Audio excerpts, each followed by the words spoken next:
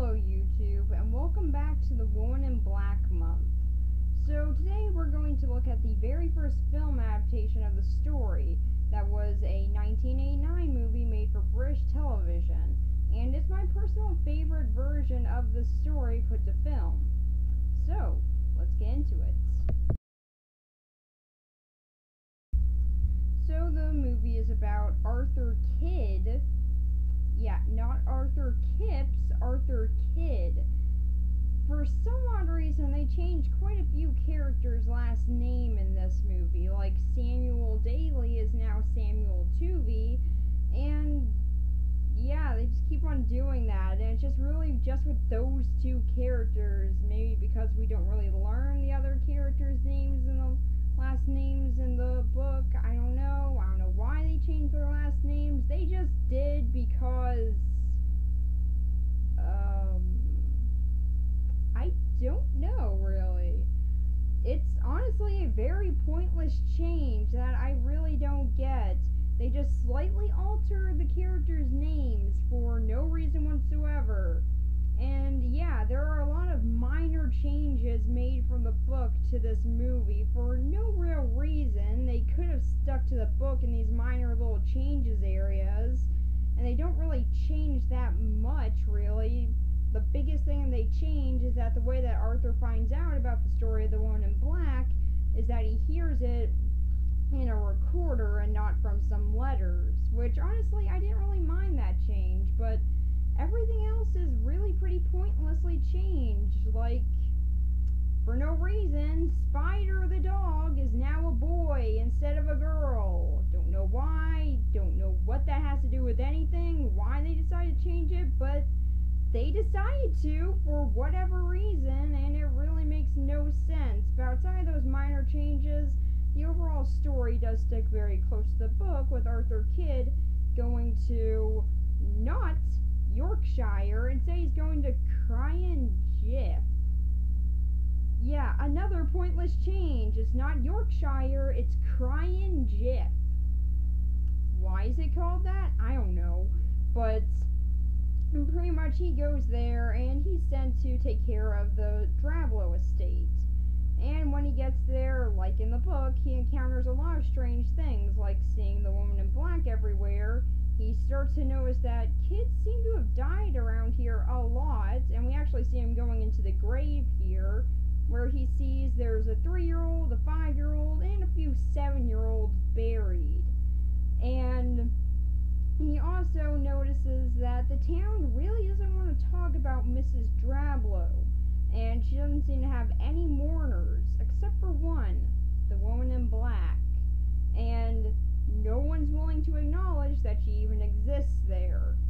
But eventually, Arthur does go to the Eel Marsh house where he starts hearing sounds on the marsh. And yeah, amazingly, the sounds of kids dying out on the marsh and also seeing the woman in black there again does kind of freak him out a little bit. So he leaves immediately once he sees Keckwick come back and he eventually decides that he is going to go back because he has a job to do, but he needs a companion. So Samuel Toovey decides to give him his dog Spider, and that pretty much makes him feel a little bit better. That and riding a bicycle for a little bit. So yeah, I, I guess his problems are really easily solved. Just, just have a conversation with it, get a dog and a bike, and he's good. So he goes back, and now he's more focused on finding out what the woman in black is actually doing and what the mystery going on around the town is. So he keeps on looking for answers when more mysterious things happen. The light goes out, the nursery that he tries to get into constantly opens up, and there's a little boy saying hello and laughing. That was never in the book, but it is actually kind of creepy. And then he does continue to hear the voices on the marsh. And then an awful thing happens. The door is hard to close and lights are moving in the hallway. Terrifying.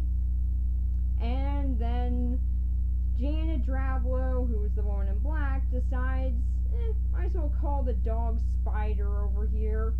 So, yeah, the dog goes running after her, and then Arthur tries really hard to get back his only companion in this place.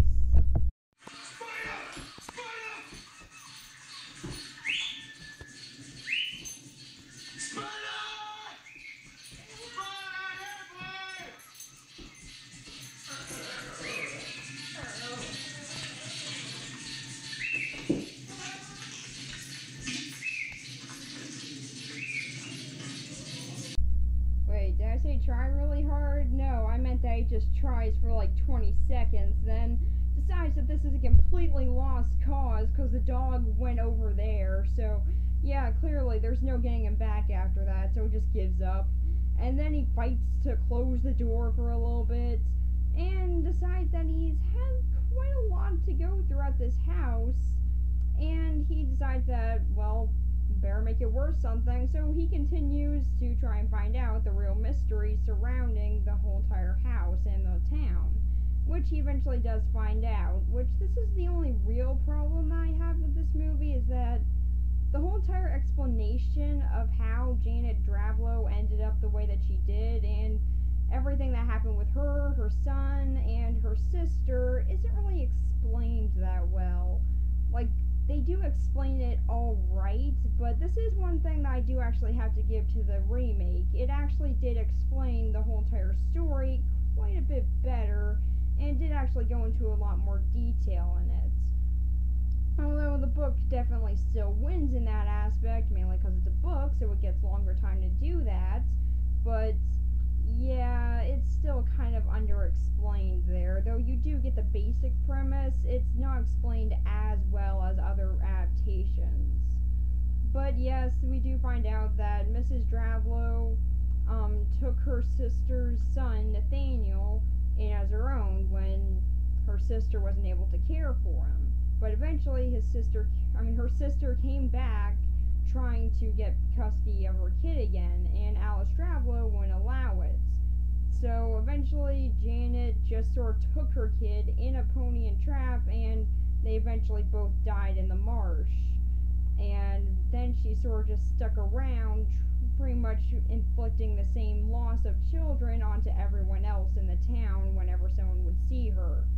And yeah, after he learns that, Arthur is surprisingly comfortable with it actually. Like he he just sort of handles it pretty well. Like I guess finding out that there's this big conspiracy in the town isn't isn't that big of a deal. And and then he's taken back to the inn where he sees the woman in black for the last time. And this renders him in a pretty bad state. He ends up sick for a few days and bedridden, and whenever he wakes up, he kind of sounds insane. But of course, a few days of sleep cures insanity. Because that's how insanity works. So, yeah, now that he's better and now that his wife is with him, they decide that it's time for them to go back. So, he gets ready to go back home, says goodbye to Sam and absolutely no one else because, um, didn't really know anyone else that well in the town outside of Keckwick, the innkeeper, and also the guy who went to the funeral with them, whose name I can't remember. But yeah, I mean, outside of them, oh yeah, and also Samuel's wife, which he actually does say goodbye to. But outside of all of them, yeah, you know, he barely knew anyone. So he does go back and everything seems to be all right. The house is now burned down, so he pretty much thinks that everything with the one in black has now stopped. That doesn't stop him from pretty much having post-traumatic stress about it, and whenever he hears hooves walking on the street, he gets terrified. But what an odd a phobia. Is that horse on the street a phobia? Is that a thing now? But yeah, he is, he does eventually try and get over it and goes back to work where he he's kind of mad at Mr. Bentley. shock of all shocks, or at least I assume that's Mr. Bentley. They never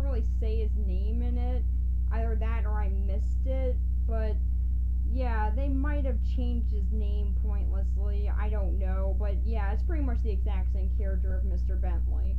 And pretty much he just sort of says that, yeah, all right, you you did good, but just just take a few days off. You you've earned it. You you put your own health at, on the on the line here. So yeah, he decides, yeah, okay, I will. But then he does find out that the one chest that he kept of all the stuff from Eel Marsh house is still very much around and is even sent to his office. And then one of the people who work there says that there's a woman in black waiting outside. And then he also hears the pony and trap. I mean, it doesn't actually fall into any marsh, but he does hear it, and when he looks outside, there is no horse. So, yeah, pretty much she's not dead yet. So, he comes to the very rational conclusion that he just has to burn the whole entire thing, and that'll just save the day. Because that's how that's gonna work. So, naturally, he decides to take it home and just has a nice little bonfire. Okay, no, of course he doesn't do that. No, what he does is he decides, I'm gonna go grab some gasoline. No one will question this in my banking office for some reason. Really, no one questions that. I don't get that. He's walking out with a can of gasoline, and no one's just like, hey, what, what are you doing? But yeah, he goes, gets some gasoline, and sets it all ablaze and burns up his office. Amazingly, people don't really think he's in the best state of mind anymore after that. And then he tries to kill his boss for sending him there. The rational thing to do. So, yeah, amazingly, after trying to kill your boss, he's fired. Shocking. So, yeah, now he at least has some time to spend with his family. Oh, and by the way, just so you know, yeah, he's got two kids in this version. In the book, his wife was pregnant and they only had kids until the very end and they only had one. In this movie, they do have a they do have an infant with them which actually does follow the book and they do have that at the very end, but she wasn't pregnant with him the whole time and also they have another son named Eddie. So yeah, there's just that little minor change in there. But eventually, he does see that the woman in black is still very much alive and they're killed. All of them. And the movie ends. Happy ending! So, yeah, outside of the very few differences from the book, which honestly did kind of get to me after a little bit, that's really not that much to pay for an actually really, really good adaptation of this story. The overall premise of this movie does follow the book very, very well, and it's just for a few minor little changes that actually differs. For the most part, it does follow it. And it actually does follow it really well. There are a lot of really creepy moments in this movie, even if you can tell they didn't have much of a budget, it is still a really good execution of the story. There are quite a lot of moments that really does take time to just let the whole entire atmosphere of the actual idea and everything going around with the woman in black just set in. Also, one thing I want to bring up is that is Eel Marsh house, which honestly I just really like the design of this place. Now, why I want to bring this up is a little bit as to what I'll talk about when I actually talk about the remake of this movie, but it's mainly what I actually want to bring up and how it differs from most haunted houses and movies. Now, usually in haunted house movies or just overall movies with creepy houses in them, they're usually very darkly lit and everything about them just seems creepy from the offset. So you just sort of question why someone would even go in there. But in this movie, it's not like that. The house is actually very welcoming. It just sort of looks a little bit run down and just sort of the place where it's at on a marsh is just kind of off. But outside of that, it actually does seem like a really welcoming place on the inside with most of the walls being yellow and white. Then you get a little bit further in. It starts to get more orange as you go up and deeper into the house. Then it gets blue. Then when you actually get to the nursery, which just so you know, is a very important part of the story as it does actually tie into Nathaniel, who is pretty much the reason that the woman in black exists, then the wall is pretty much gray and everything is black around it.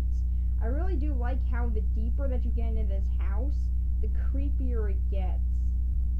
Honestly, I just really like that change.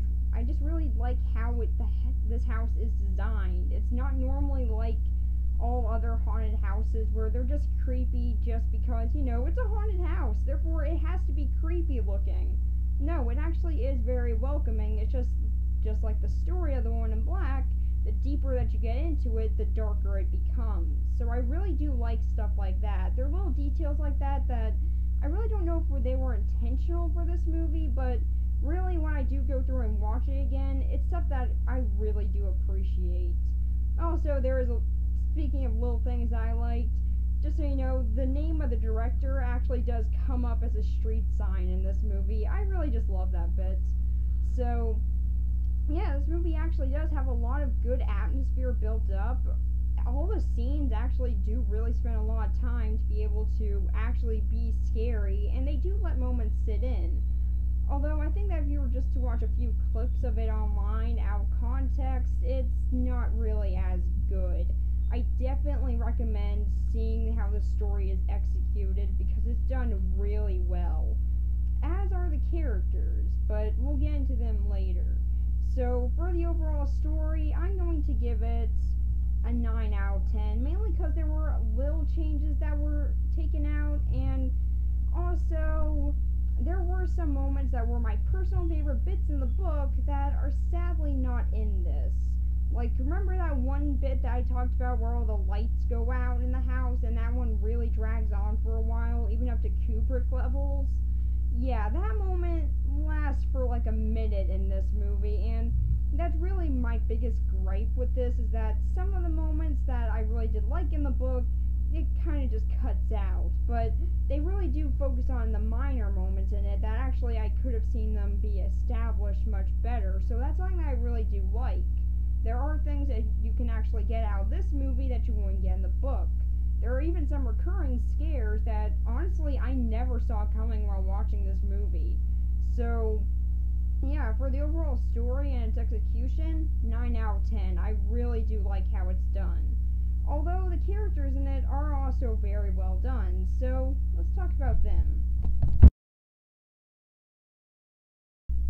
So for the characters, let's start off with the main one, Arthur Kidd, who, fun fact, was played by the same guy who played Harry Potter's dad in the Harry Potter movies. And then when the 2012 version of The One in Black came out, Harry Potter himself, Daniel Radcliffe, played Arthur.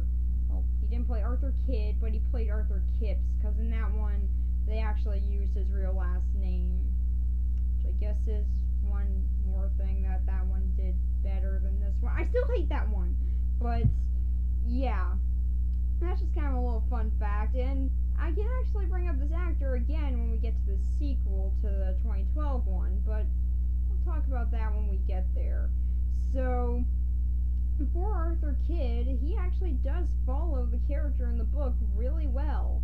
Except there is one change to him that I actually really do like, and it is kind of a minor change, but something that I really did like. It's that we do get to see how much of a toll learning about the truth and what's going on with the woman in black takes on him. We get to see that much more in this movie. While, yes, it does get explained in the books, and you do get to see how much of a toll it does take on him there, I feel like in this one, just seeing the actor go through it and see and just seeing this actor who is really, really good in this movie, just seeing how he reacts to everything, I really did like. And honestly, I feel like that's a little thing that I liked a little bit more than the books, is that we do get to see him and how much of a toll this actually does take on him.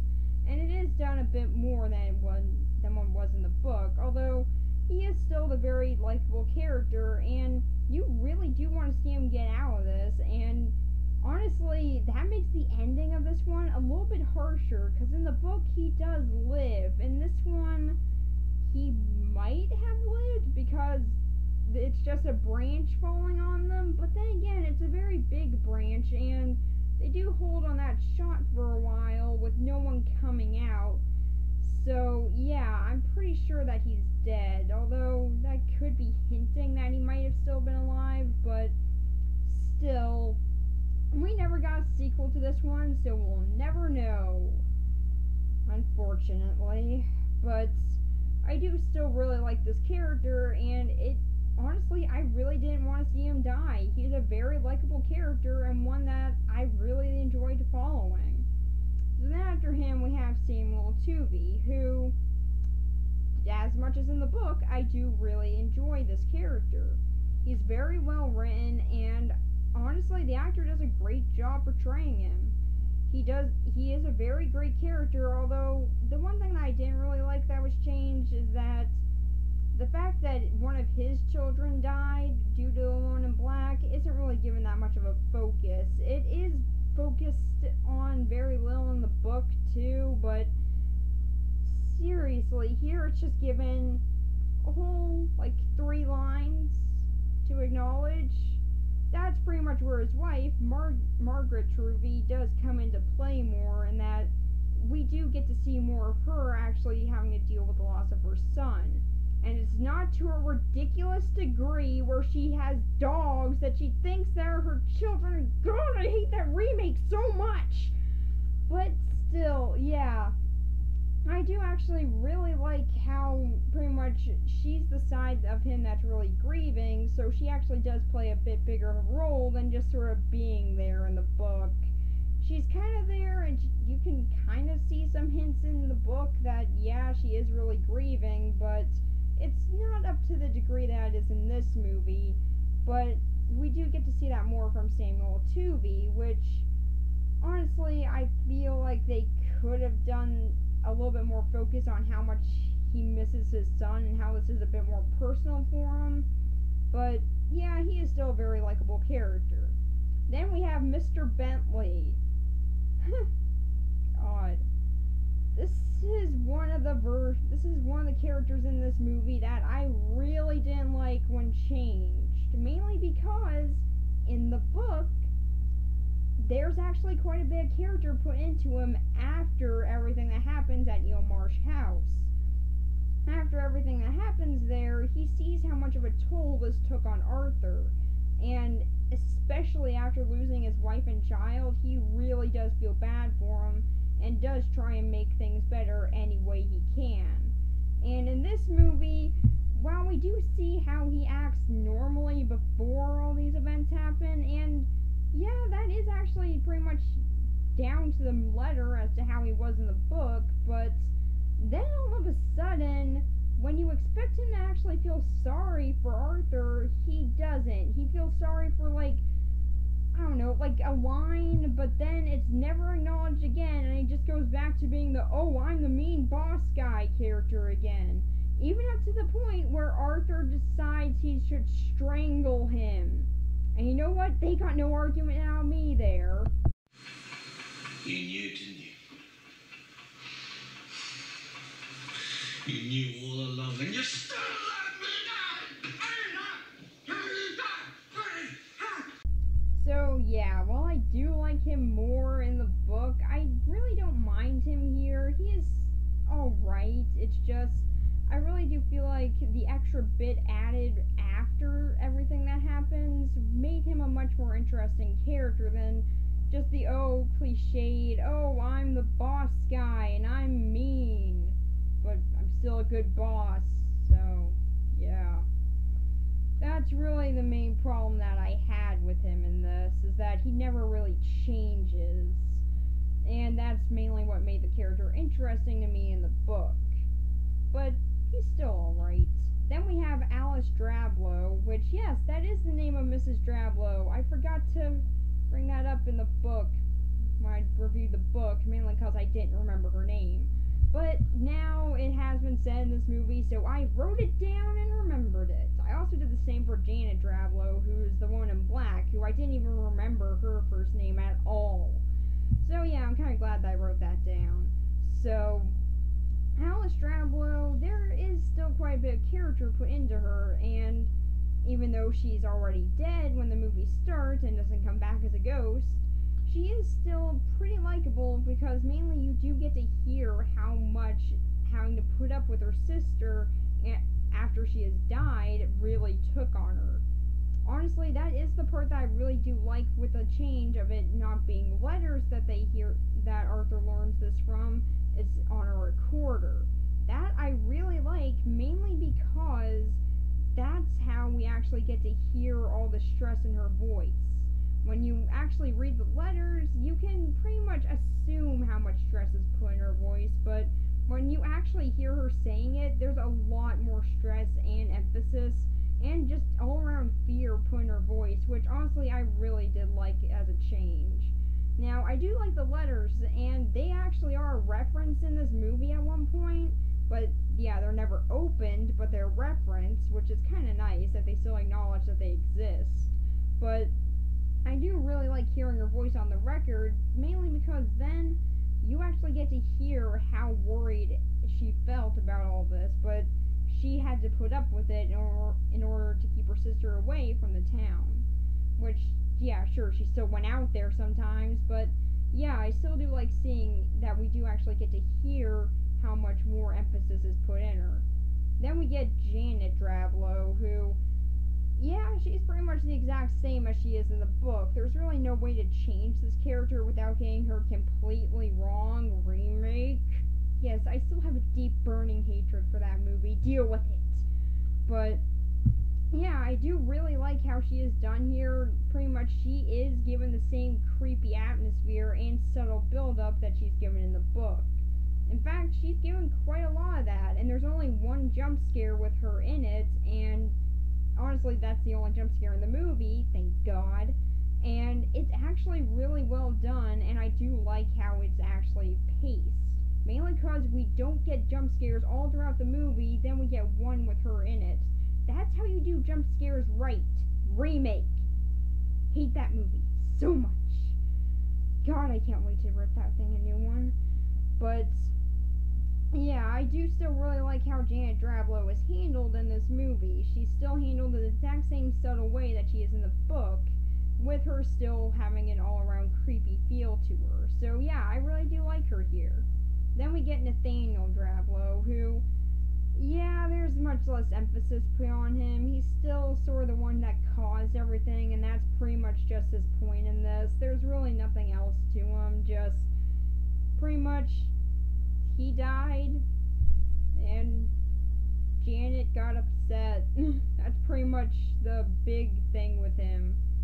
Mainly, it's what he actually caused with Janet and Alice that actually makes him more interesting. But, like I said before, that's not really explained the best way. So, yeah, in this, he's not really the best.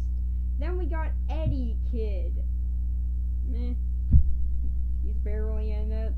He's the son of Arthur, and eh, he's alright. There's also Winifred Kidd.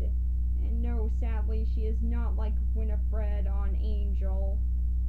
Would have been awesome. But she she's there, she's a baby, I don't know. What else am I supposed to say about a baby that's barely in the movie? She was there. That's pretty much all I got to say about her. So yeah, for for Arthur's kids, they're in it. I will only say that Eddie's Kidd's actor is actually pretty good in this, mainly since he is very young and he actually does deliver the lines pretty well. So I did really like that he is actually a pretty good kid actor. Now, did he ever go anywhere? I have no idea. But I do at least hope that he did. Or at least maybe stuck to acting. I don't know. I really haven't looked into any of what he's done after this, so at least I got a project to do later. And then there's Stella Kidd. Much, much less emphasis put on her. In the book, she actually is pretty much very supportive of Arthur. Here, there's not many scenes with her. It's pretty much just three. And while, yes, she was pretty underdeveloped in the book, she at least had a few more scenes than just three. Here, pretty much, yeah, just like three or five, really. And really, those are pretty short moments where she's just sort of the really supportive wife and there's no other character into her, which, yeah, I guess is pretty much how she was in the book. But, eh, she, she's alright. I guess that she does really follow the character in the book, though, as she pretty much gets the pretty much about the same time, except book Stella got a little bit more. So, yeah, she's all right. So for the characters overall, I'm going to give them an 8 out of 10. Mainly because there are some changes with them that I really didn't like that much.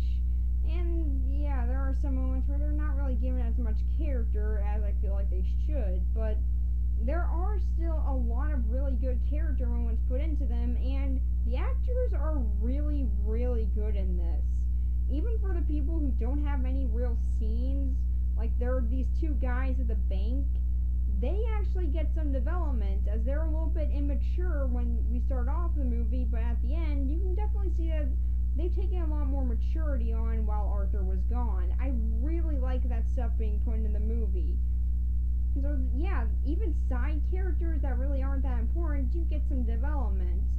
So for the characters overall, they're not the best, but well, at least not compared to the book ones, but they are still really good.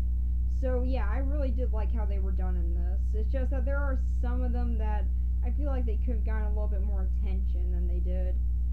So for this movie overall, I love it. It's a really great movie, and if you haven't seen it, I definitely recommend checking it out. It's actually on YouTube, which is where I first watched it, and ever since I've been looking for other good B horror movies. My attempts haven't been successful yet, but I'm still looking. So, yeah, maybe one day I'll find one as good as this because this really was a great B movie for horror, and I honestly really do like it. Even the low budget on it is used in a really well, in a really good way, mainly because then they can do much more subtle scares. I don't really know if they were going to originally do it that way, but didn't have money to do it, to do it any other way or something, but it is still really well done. The horror in this movie is actually really subtle and there are a lot of things that actually come back in it. And the characters are very likable. Even if they don't get that much screen time, you can still really like the characters. And you can actually see some character being put into them, even if they're just there for a few scenes. That's stuff in this movie that I really, really did like and appreciate. So, honestly, I really did love this movie. It's amazing, really. I just love it just for how much of a low budget you can tell they had, it's it's just a really amazing as to what they actually did with it. It's a really great horror movie, and if you've never seen it, which yeah, you probably haven't, as yeah, it's pretty obscure. You know, everyone's talking about that 1989 version of The Woman in Black. Sure, no one said that ever until I did. So, yeah, I definitely do recommending it. I do definitely recommend checking it out as it's pretty much a pretty good gem to find. So yeah, it's a really great movie, and I definitely do recommend checking it out. It's very subtle and its in its approach in horror, and the story and characters are really well done, and the characters are very likable in it. And I also do like the connection with actors in between film adaptations of this, which, yes, I will talk about again later because there's actually more to talk about with that. So, for this movie overall, I'm to give it a 9 out of 10, mainly because there are a few things that are changed for no reason, but then again, if you haven't read the book, then you don't really mind them. And honestly, that's how I went to this movie. This was the very first version of The Woman in Black I ever saw. So I really, really do like just being able to watch it without having read the book. That's probably the best way to watch it. Then, after you've read the book, I definitely do recommend checking it out again. You can notice little things that you didn't before. And honestly, whenever I watch this movie again, that's pretty much what I can say about it. I can see a lot of things I didn't before. Like the stuff in the house I brought up earlier with the colors and everything. I didn't notice that until like my third viewing of this movie. I've seen this movie like five times. I love it that much. So yeah, 9 out of 10. I really do like how this movie was done and I definitely recommend checking it out. And so yeah, that's pretty much it for this and finally, next week I get to talk about the remake. Cannot wait I hate it a lot. Just say that. I really, really, really hate that movie. So that should be fun to talk about. Bye.